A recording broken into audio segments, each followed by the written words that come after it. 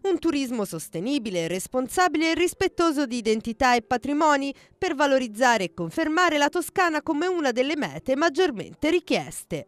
Questa è la base del documento strategico operativo Destinazione Toscana 2020, presentato in un convegno al Teatro della Compagnia a Firenze da Alberto Peruzzini, direttore di Toscana Promozione Turistica, e dall'assessore regionale al turismo Stefano Ciuoffo. Siamo convinti che questo settore debba eh, mettere in eccellenza, in evidenza eh, una filiera eh, che fa sistema in Toscana e che può consentirci di raccontarla, raccontarla in tutte le sue eccellenze, raccontare le sue tipicità, mettere in risalto e mettere a valore eh, tutte le opportunità che il nostro territorio può offrire. Lo scopo di Destinazione Toscana 2020 è quello di individuare linee strategiche quadriennali per permettere alla Toscana di incrementare i flussi turistici.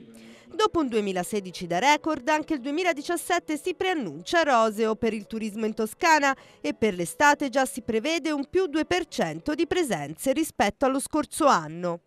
Protagonisti di questa crescita i turisti stranieri che aumentano del 2,9%. Non solo mare e città d'arte, la scommessa sono le nuove rotte del turismo ma cresce, crescono le altre nicchie del turismo, quindi il turismo avventura, il turismo naturalistico, il turismo in bici, eh, tante alternative per scoprire anche angoli nascosti della nostra regione. Ecco, la, la prossima estate ci saranno tante occasioni per scoprirla al meglio. Durante il convegno Destinazione Toscana 2020 è stato presentato in anteprima il nuovo sito web Visit Tascani, un progetto nato per rilanciare un'identità digitale del turismo in Toscana.